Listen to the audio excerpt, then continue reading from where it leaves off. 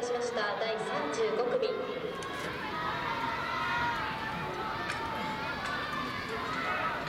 第2レーンは筑波大附属聴覚の宮城さん。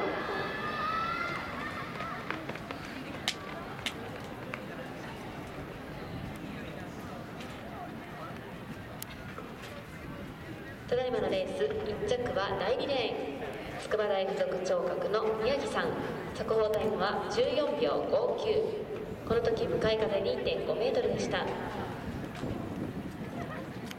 以上で少年 A 女子 100m 競争は全て終了となります。この後トラックでは12時20分から少年 A400m 競争が行われます。